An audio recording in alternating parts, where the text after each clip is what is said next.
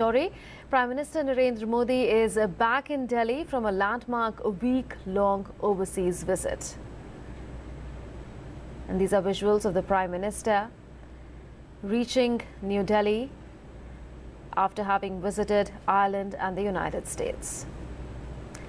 PM Modi's week-long visit to Ireland and the US not only saw India enhancing its relations with Ireland and strategic partnership with the United States of America, but also giving a big boost to the mission to seek more foreign investments and connecting the country via the internet.